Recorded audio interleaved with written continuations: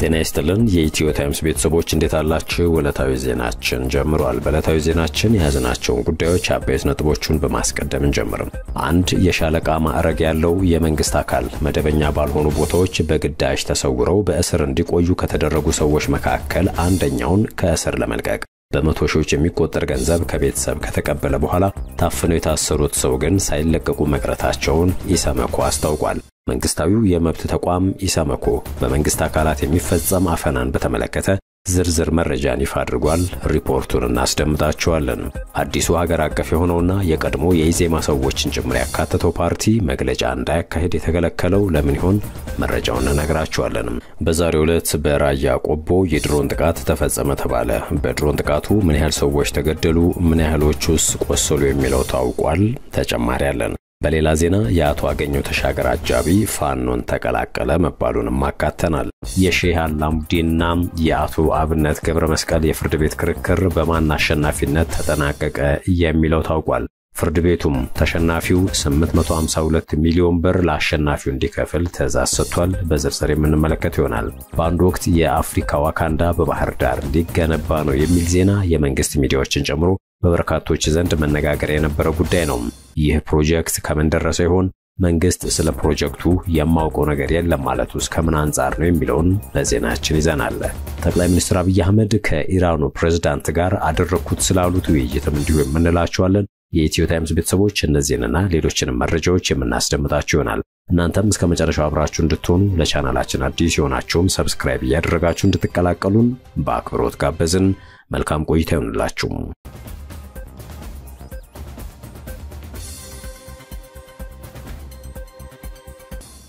የንጋት ኮከብ የተሰኘው ፓርቲ መግለጫ እንዳያካሄድ ተከለከለ። በምርጫ ቦርድ ተመዝግቦ እንቅስቃሴ በማድረግ ላይ የሚገኘው አዲሱ የንጋት ኮከብ ለኢትዮጵያ ፓርቲ ዛሬ ማለዳ በዋቢ ሸበሌ ሆቴል ሊያካሄድ ያቀደው ጋዜጣዊ መግለጫ እንዳይካሄድ ተከልክሏል። በፓርቲው ጋዜጣዊ መግለጫ ላይ ለመታደም በርካታ የሚዲያ አካላት የተገኙ ቢሆንም የፓርቲው አመራሮች ጋዜጣዊ መግለጫውን ከላይ በመጣ ትዕዛዝ ምክንያት ማካሄድ እንደማይችሉ ተናግረዋል። የፓርቲው አመራሮች የመንግስት የደህንነት አካላት ጋዜጣዊ መግለጫውን እንዳንሰጥ ከልክለውናል በማለታቸው መግለጫው መቋረጡን የተነገረው የፓርቲው አመራሮች የመንግስት የደህንነት አካላት ጋዜጣዊ መግለጫውን እንዳንሰጥ ከልክለውናል ብለዋል። የኢትዮጵያ ዜጎች ለማህበራዊ ፍትህ ኢዜማ አመራርና አባል የነበሩ ፖለቲከኞችን ጨምሮ ሌሎች አባላትን ያካተተው የንጋት ኮከብ ለኢትዮጵያ የተሰኘው ፓርቲ በቅርቡ የምርጫ ቦርድን እውቅና አግኝቶ የፖለቲካውን መድረክ የተቀላቀለ ፓርቲ ነው። በዛሬው ዕለት በራያ ቆቦ የድሮን ጥቃት ተፈጸመ ተባለ። ከዚያ በተጨማሪም ከቆቦ ከተማ መነሻውን ሆርማት ያደረገ መድፍ በዘፈቀደ ወደ ዞብልና ቀዩ ጋሪያ በአገዛዙ ሰዎች እንዲወነጨፍ እየተደረገ ነው ተብሏል። በዛሬው ዕለት ጥቅምት 13 ቀን 2017 ዓ.ም በሰሜን ወሎ ዞን ራያ ቆቦ ወረዳ በተፈጸመ የድሮን ጥቃት ንጹሐን መገደላቸውና መቁሰላቸው ተነግሯል። ራያ ቆቦ ቀዩ ጋሪያ ትምህርት ቤት ላይ ተፈጸመ በተባለው የድሮን ጥቃት ሁለት ንጹሐን ተገድለዋል፣ ስድስት ሰዎች ቆስለዋል ሲሉ የዓይን እማኞች እንደነገሩት የዘገበው ኢትዮ 251 ሚዲያ ነው። የድሮን ጥቃቱ ተፈጸመ የተባለው ዛሬ ከጠዋቱ ሁለት ሰዓት ላይ ሲሆን በጥቃቱም ሁለት ንጹሐን ተገድለዋል፣ ስድስት ንጹሐን ቆስለዋል ተብሏል። በተያያዘም በትምህርት ቤቱ ላይ ከተፈጸመው የድሮን ጥቃት በተጨማሪ መነሻውን ቆቦ ከተማ ሆርማት ያደረገ መድፍ በዘፈቀደ ወደ ዞብልና ቀዩ ጋሪያ እየተወነጨፈ ይገኛል ተብሏል።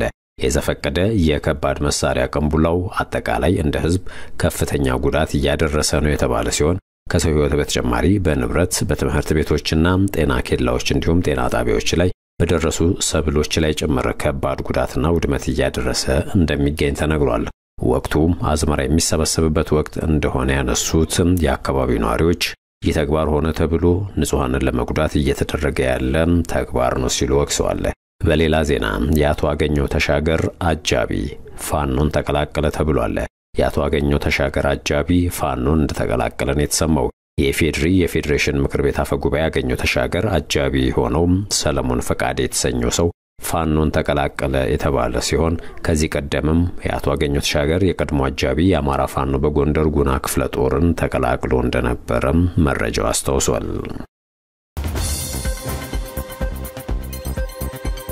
አብይ አህመድ ከኢራኑ ፕሬዝዳንት ጋር ተወያዩ አሉ። የኢፌዴሪ ጠቅላይ ሚኒስትር አብይ አህመድ ከኢራኑ ጠቅላይ ሚኒስትር ጋር መወያየታቸውን ገልጸዋል። ጠቅላይ ሚኒስትር አብይ አህመድ በብሪክስ ጉባኤ ላይ ለመገኘት ወደ ሩሲያ ማቅናታቸው ይታወቃል። በዚያው ከኢራኑ ፕሬዝዳንት መስዑድ ፔዥካን ጋር በሁለትዮሽና በቀጠናዊ ጉዳዮች ላይ መወያየታቸውን በማኅበራዊ ትስስር ገጻቸው ላይ ይፋ አድርገዋል። አብይ አህመድ በዚህ መልእክታቸው ላይ በውይይታችን ወቅት ኢትዮጵያ የመካከለኛው ምስራቅ ውጥረቶች የሚረግቡበትን ሁኔታ ለማገዝ ዝግጁ መሆኗን ገልጫለሁ ብለዋል።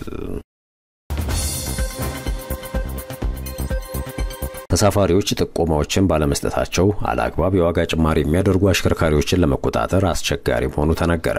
ሰሞኑን ተግባራዊ ከተደረገው የነዳጅ ዋጋ ማሻሻያ ጋር ተያይዞም አለአግባብ የዋጋ ጭማሪ ስለሚያደርጉ አሽከርካሪዎች ተሳፋሪዎች ጥቆማዎችን ባለመስጠታቸው ጉዳዩን ለመቆጣጠር አስቸጋሪ መሆኑን የትራንስፖርትና ሎጂስቲክስ ሚኒስቴር አስታውቋል። በሚኒስቴር መስሪያ ቤቱ የላምበረት ተርሚናል ተወካይ ኃላፊ የሆኑት አቶ አረጋ አዲስ እንደተናገሩት ሰሞኑን የነዳጅ ዋጋ ማሻሻያ ጋር በተያያዘ ሀገር አቋራጭ ተሽከርካሪዎች የትራንስፖርት የዋጋ ጭማሪ ተደርጓል። ከዚህም ጋር በተያያዘ አላግባብ የታሪፍ ጭማሪ በማድረግ ተሳፋሪዎችን ለከፋ ችግር የሚያጋልጡ አሽከርካሪዎች መኖራቸውን ገልጸዋል። ይህንንም ሕገወጥ አሰራር ለመቆጣጠር የተሳፋሪው መረጃ አለመስጠትና ለተቆጣጣሪ ሰራተኞች እገዛ አለማድረግ ቁጥጥሩን አስቸጋሪ ማድረጉን ጠቁመዋል። የዋጋ ጭማሪ አድርገዋል ተብለው ለስምሪት ባለሙያዎች ጥቆማዎች ደርሰው ባለሙያዎች የማጣራት ስራን በሚሰሩበት ወቅት ተሳፋሪው ጭማሪ መደረጉን ከመናገር መቆጠቡም ችግሩ እንዲስፋፋ በምክንያትነት ከሚጠቀሱ ጉዳዮች መካከል መሆኑን አንስተዋል። ኃላፊው አያይዘውም የላምበረት አሽከርካሪዎች ይህንን ህገወጥ ስራን የሚያከናውኑት ከመናኸሪያው ወጥተው ነው ይላሉ። ችግሩን ለመቅረፍ ተሳፋሪው ጥቆማዎችን በመስጠት መቅረፍ እንደሚቻልም ተናግረዋል። አሽከርካሪዎቹ ተጓዦች ወደሚፈልጉት መዳረሻ እንግልት ሳይገጥማቸው ተመጣጣኝ በሆነ ታሪፍ እንዲሄዱ ማድረግ ይገባቸዋል ያሉ ሲሆን ይህንን በማያደርጉት ላይ ጥብቅ ክትትልና ቁጥጥር ይደረጋል ይላሉ። ሀገር አቋራጭ ተሽከርካሪዎች ከተቀመጠው ታሪፍ ውጪ አላግባብ የዋጋ ጭማሪ አድርገው ህብረተሰቡን ለከፋ ችግር እየዳረጉት እንደሚገኝ በተደጋጋሚ እየተገለጸ ይገኛል። ዘገባው የአሃዱ ራዲዮ ነው። ፍርድ ቤቱ ሼህ መሐመድ አልአሙዲን 852 ሚሊዮን እንዲከፈላቸው አዘዘም። ሼህ መሐመድ አላሙዲን አቶ አብነት ገብረ መስቀል ለብልጽግና ፓርቲ ሰጥተውብኛል ያሉትን 75 ሚሊዮን ብርን ጨምሮ ለተለያዩ መንግስታዊ ተቋማት ከዚህ ቀደም በስጦታ መልክ የተለገሰውን ገንዘብ አቶ አብነት ይመልስልኝ ሲሉ ፍርድ ቤት ክስ መስርተው ሲከራከሩ ነበረ። የክስ መዝገቡ እንደሚለው የናሽናል ኦይል ኢትዮጵያ ኩባንያ ከ2004 እስከ 2013 ዓ.ም ድረስ ካተረፈው ትርፍ ላይ ለአላሙዲ ደርሳቸዋል ተብሎ በኩባንያው ከተረጋገጠው አጠቃላይ የትርፍ ድርሻ ውስጥ በአቶ አብነት የባንክ ሂሳብ 852 ሚሊዮን 462650 ብርም ገቢ ተደርጓል። ሰነዱ እንደሚገልጸው ከዚህ ገንዘብ ውስጥ ከ581 ሚሊዮን ብር በላይ የመንግስት ተቋማትን ጨምሮ ለመንግስት ባለስልጣናት በሼህ አላሙዲን ፈቃደኝነት ከአቶ አብነት የባንክ ሂሳብ ተከፍሏል። ከዚህ የብር መጠን ውስጥም ለብልጽግና ፓርቲ 75 ሚሊዮን ብር መከፈሉን የሚጠቅሰው ይህ የፍርድ ቤት ሰነድ ለአዲስ አበባ ከተማ አስተዳደር social trust fund 120 ሚሊዮን ብር፣ ለፌዴራል ፖሊስ 5 ሚሊዮን ብርና ለኢንፎርሜሽን ደህንነት መረብ ኤጀንሲ 7 ሚሊዮን ብር መሰጠቱን ያትታል። ከእነዚህና መሰል ሌሎች በሰነዱ የተጠቀሱ ክፍያዎችን አስመልክቶም ሼህ አሊ አላሙዲ አቶ አብነትን የወከልኩት ስጦታ እንዲሰጥልኝ አይደለም ሲሉ እነዚህን ክፍያዎች ይመልስልኝ ሲሉ ተሟግተዋል። የፍርድ ቤቱ የከሳሽና የተከሳሾች ሰነድ እንደሚጠቁሙት ተከሳሹ አቶ አብነት ገብረ መስቀል እነዚህን ክፍያዎች ወጪ ያደረግኩት በተሰጠኝ ውክልና በመሆኑ ያደረግኩት የውክልና ግዴታዬን መፈጸም ብቻ በመሆኑ ልከሰስ አይገባም ሲሉ ተከራክረዋል። ክሱን ሲመለከት የነበረው የፌዴራሉ ከፍተኛ ፍርድ ቤትም አቶ አብነት ገብረ መስቀል ለብልጽግና ፓርቲ የተከፈለውን 75 ሚሊዮን ብር ጨምሮ በክሱ የተዘረዘሩትን ክፍያዎች ሲከፍሉም ለአላሙዲ ጥቅም ያልተፈጸሙ በመሆናቸው ተከሳሹ አቶ አብነት ገብረ መስቀል የተከሰሱበትን 852 ሚሊዮን 462650 ብር ለአላሙዲ እንዲከፍሉ አዟል። የይግባኝ መብት እንዳላቸውን በመጥቀስ መዝገቡን ዘግቷል።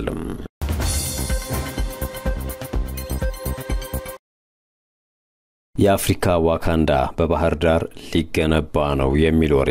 ከዚህም ባሻገር በኢትዮጵያ ነዳጅ ተገኝቷል፣ ለውጭ ገበያ መቅረብ ሊጀምር ነውም እንዲሁ ተብሎ ነበረ።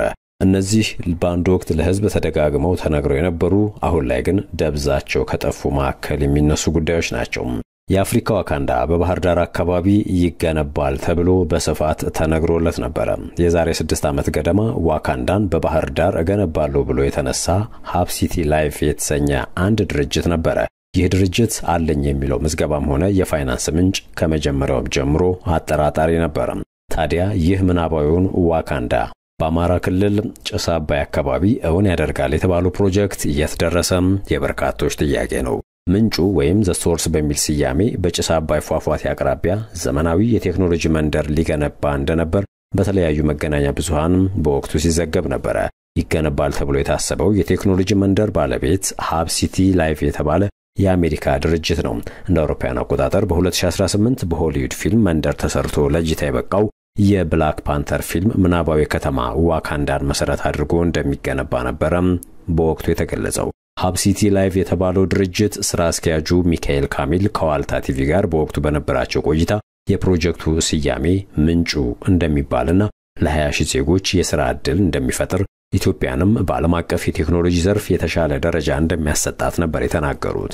ፕሮጀክቱም እስከ 20 ቢሊዮን ዶላር ወጪ እንደሚጠይቅና 3 ቢሊዮን ዶላር በወቅቱ ተመድቦ እንደነበርም መናገራቸው ይታወሳል። ቀሪው በጀት በዋናነት ከአሜሪካ ባንኮች እንደሚገኝም ስራ አስኪያጁ ጠቁሞ ነበረ። ወደ ኢትዮጵያ ከመምጣታቸው በፊት ፕሮጀክቱንና ተያያዥ ስራዎችን ሲሰሩ መቆየታቸውንም በቃለ መጠይቁ አስረድተው ነበረ። ባህር ዳር የጣና ሐይቅና የጭስ አባይ መገኛ ውብ ከተማ በመሆኗ ተመራጭ አድርጓታል። ከታሪክ አንጻርም የዓለም ትልቁ የስልጣኔ መነሻ ከዚህ አካባቢ ነው ተብሎ ስለሚታመን ምናባዊ ዋካንዳ የቴክኖሎጂ ከተማን ለመገንባት አካባቢውን እንደመረጡት ስራ አስኪያጁ ተናግረው ነበረም። ጉዳዩ ይበልጥ ትኩረት እንዲስብ አድርጎት የነበረው ደግሞ ዘመናዊ የቴክኖሎጂ ከተማን የመስራት እቅዱን አስመልክቶ የሳይንስና ቴክኖሎጂ ሚኒስቴር ከባለድርሻዎች ጋር ውይይት ማድረጉን ተከትሎ አብዛኞቹ የሀገር ውስጥ መገናኛ ብዙሃን የዘገባ ሽፋን መስጠታቸው ነበረ። Hub City Live የተባለው ድርጅት ስራ አስኪያጅ ሚካኤል ካሚል እውነተኛውን የዋካንዳ ፕሮጀክትን በጭስ አባይ ፏፏቴ አቅራቢያ ገንብቶ ለመጨረስ ከ8 እስከ 10 ዓመታትን እንደሚወስድ ፕሮጀክቱንም አጠናቀው እውን እንደሚያደርጉት ገልጸው ነበረ። ሐሳባችን በኢትዮጵያ መንግስት ተቀባይነት አግኝቷል። ለምንጠይቀው ሁሉ መንግስት አስፈላጊውን ድጋፍ እያደረገልን ነው ብለውም ነበረ። ይሁንና ከጥቂት ወራት በኋላ እውን ይሆናል የተባለው ምናባዊው ዋካንዳ የት ደረሰ በማለት የወቅቱ የኢኖቬሽንና ቴክኖሎጂ ሚኒስቴር ኢንጂነር ጌታሁን መኩሪያ ሲጠየቁ የአማራ ክልል ባህልና ቱሪዝም ቢሮ የፕሮጀክቱ እውን መሆን ለክልሉ የቱሪዝም እንቅስቃሴ ወሳኝ በመሆኑ ተገቢውን ድጋፍ እንድናደርግም ደብዳቤ ጽፎልን እንጂ በእኛ በኩል ስለ ፕሮጀክቱ የምናውቀው ነገር አልነበረም ብለዋል። በተጻፈለት የድጋፍ ደብዳቤ መሰረት መስሪያ ቤቱ በንድፈ ሐሳቡ ዙሪያ ከአጋር አካላት ጋር ውይይት ማድረጉንም አስታውሰው ውይይቱም ፕሮጀክቱ ለሀገሪቱ የቴክኖሎጂ ሽግግር በሚኖረው ፋይዳ ዙሪያ እንደነበርና አሁን በምን ደረጃ ላይ እንዳለ እውቅና እንደሌላቸው ተናግረው ነበረ። ከዚያ ወዲህ የ Hub City Live ሰዎች ወደ ኢትዮጵያ መጥተው አያውቁም። ብዙ የተወራለት የዋካንዳ ፕሮጀክትም የውሃ ሽታ ሆኖ ቀርቷል። ውድ የ Ethio Times ቤተሰቦች ሌላኛውን ጉዳይ ደግሞ ማለትም እንዲሁ በአንድ ወቅት ለሕዝብ ተደጋግመው ተነግረው ከነበሩት መካከል በኢትዮጵያ ነዳጅ ተገኝቷል፣ ለውጭ ገበያም መቅረብ ሊጀምር ነው በሚል ተነስቶ የነበረውን ጉዳይ በቀጣይ የዜና ወጋችን የምናነሳው ይሆን። መደበኛ ባልሆኑ ቦታዎች በግዳጅ ተሰውረው በእስር ላይ ከቆዩ ሰዎች መካከል ገንዘብ ከፍለው የተለቀቁ መኖራቸውን ኢሰመኮ ገለጸ። ትክክለኛ አድራሻቸው ባልታወቁ ቦታዎች በግዳጅ ከቀናት እስከ ወራት ለቆየ ጊዜ ተሰውረው በእስር ላይ ከቆዩ ሰዎች መካከል ገንዘብ ከፍለው የተለቀቁ መኖራቸውን የኢትዮጵያ ሰብአዊ መብቶች ኮሚሽን ኢሰመኮ አስታውቋል። ኢሰመኮም ከ2015 ዓ ም ሐምሌ ወር ጀምሮ በመንግሥት የጸጥታ ኃይሎች ተወስደው እያሉበት ቦታ ሳይታወቅ የቆዩ ከ52 በላይ ሰዎችን የተመለከቱ አቤቱታዎችን መመርመሩን ገልጿል። ኮሚሽኑ ይህን የገለጸው ረቡዕ ጥቅምት 13 ቀን 2017 ዓ.ም ባወጣው ጋዜጣዊ መግለጫ ነው። የመንግስታዊው የሰብአዊ መብት ተሟጋች ተቋም መግለጫ መደበኛ ባልሆነ ማቆያ ቦታ ያሉበት ሳይገለጽ እንዲቆዩ የተደረጉ ሰዎችን የሚመለከት ነው። ኮሚሽኑ በዛሬው መግለጫው ተጎጂዎች በአብዛኛው ሰሌዳ በሌላቸው ተሽከርካሪዎችና በታጠቁ ሲቪል ወይም የደንብ ልብስ በለበሱ የጸጥታ አካላት ተገቢውን የሕግ ሥነ ሥርዓት ባልተከተለ ሁኔታ በግዳጅ የተያዙ መሆናቸውን አመልክቷል። ባለፈው ጥቅምት ወር መጀመሪያ በተካሄደው 57ተኛው የተባበሩት መንግስታት ድርጅት የሰብአዊ መብቶች ጉባኤ ኢሰመኮም የአስገድዶ መሰወር ድርጊቶች መስፋፋትና አሳሳቢነት መቀጠልን አስመልክቶ የሰብአዊ መብቶች ክትትል ሪፖርት ማቅረቡን አስታውሷል። ኢሰመኮ የዛሬውን መግለጫ እስካወጣበት ቀን ድረስ ባልታወቀ ቦታ ከታሰሩ ከ52 በላይ ሰዎች መካከል 44 ሰዎች ከአንድ እስከ 9 ወር በተለያዩ መደበኛ ባልሆኑ ቦታዎች ከቆዩ በኋላ መለቀቃቸውን ጠቁሟል። ተቋሙ አክሎም ያሉበት ቦታ ሳይታወቅ በተራዘመ እስር፣ መደበኛ ባልሆኑ ማቆያ ቦታዎች ብሎም በአስገድዶ መሰወር ሁኔታ ውስጥ የሚገኙ ሰዎች ሁኔታ አሳሳቢ ሆኖ የቀጠለ መሆኑን ገልጿል። ኢሰመኮ በመግለጫውም ታሳሪዎቹ በእስር የቆዩበትን ቦታ የማያውቁ በቂ ምግብና ውሃ የማይቀርብላቸው የነበሩ እንዲሁም ለየብቻቸው ተለይተው ተይዘው የቆዩ መሆናቸውን ያስረዳሉ ብሏል። ተጎጂዎች ከእስር ሲለቀቁም በምሽት ዓይናቸው ተሸፍኖ በተሽከርካሪ ከተጫኑ በኋላ በተለያዩ የአዲስ አበባ ከተማ አካባቢዎች እንዲወርዱ መደረጋቸውን ኮሚሽኑ ገልጿል። ተጎጂዎቹ ለመጓጓዣ በሚል ከ300 እስከ 1 ሺህ ብር እንደተሰጣቸውም አክሏል። ኮሚሽኑ የታሳሪዎችን ድኅረ እስር ሁኔታ ሁሉም ተጎጂዎች በራሳቸውና በቤተሰቦቻቸው ላይ ማኅበራዊና ኢኮኖሚያዊ ጉዳት እንዲሁም ከፍተኛ የሥነ ልቦና ቀውስ መድረሱንና በስጋት መኖራቸውን ያስረዳሉ ሲል አብራርቷል። ኢሰመኮ በዛሬው መግለጫ በእስር ላይ ቆይተው ከተለቀቁ ሰዎች መካከል የያዟቸው ሰዎች ገንዘብ ከፍለው ሊለቀቁ የሚችሉ መሆናቸውን የገለጹና አንዳንዶቹም በቤተሰብ አማካኝነት በብዙ ሺዎች የሚቆጠር ብርን የከፈሉ መሆናቸውን ጠቁሟል። ለኮሚሽኑ ቃላቸውን የሰጡ አንድ ተጎጂ እንለቀሃለን ስላሉኝ መርማሪ የነበረው የሻለቃ ማዕረግ ያለው ሰው በመቶ ሺዎች የሚቆጠር ገንዘብ ከቤተሰቤ ተቀብሏል ብለዋል። ሆኖም ግን ግለሰቡ ከገንዘቡ መከፈል በኋላ ሳይለቀቁ መቅረታቸውን የኮሚሽኑ መግለጫ ላይ ተገልጿል። የጄኔራል ማዕረግ እንዳላቸው የተገለጹ ሌላ ሰው ደግሞ በቦታው በእስር ከነበሩ መካከል በተመሳሳይ መንገድ ገንዘብ የከፈሉ ሰዎችን ቃል ከተቀበሉ በኋላ መለቀቃቸውን ኢሰመኮ በመግለጫው ጠቅሷል። የተለቀቁት ግለሰቦች ከፋኖ ጋር ትብብር እንዳያደርጉ ማስጠንቀቂያ እንደተሰጣቸውም ኮሚሽኑ አክሏል። የኢትዮጵያ ሰብአዊ መብቶች ይህ ክስተት የጉዳዩን አሳሳቢነትና አፋጣኝ እርምጃ ሊወሰድበት የሚገባ መሆኑን በተጨማሪ የሚያጠናክር ነው ሲል በመግለጫው አጽንኦት ሰጥቷል። ተቋሙ በመግለጫው ላይ በሰጠው ምክረ ሐሳብ ያሉበት ቦታ በማይታወቅ ብሎም የአስገድዶ መሰወርን ሊያቋቁም በሚችል ሁኔታ ውስጥ ያሉ ሰዎችን በተመለከተ የሚመለከታቸው የመንግስት የጸጥታ አካላት አፋጣኝ ምላሽ ሊሰጡ ይገባል ብሏል። በተጨማሪም ሰዎችን የመያዝና በእስር የማቆየት ስልጣን በሕግ ያልተሰጣቸው ተቋማት ወይም መደበኛ ያልሆኑ መዋቅሮች እንዲሁም ይህንን ተግባር በሚፈጽሙ አባላት ላይ ተገቢውን ማጣራት በማድረግ ተጠያቂነት ሊረጋገጥና በአፋጣኝ ሊቆም የሚገባ ነው ሲል አሳስቧል። ኢሰመኮ ከዚህ ቀደም በኢትዮጵያ የዜጎች አስገድዶ መሰወር ተጠርጣሪዎችን በጭካኔ በአዋራጅና ኢሰብአዊ በሆነ መልኩ አያያዝ መኖሩን መግለጹ ይታወሳል።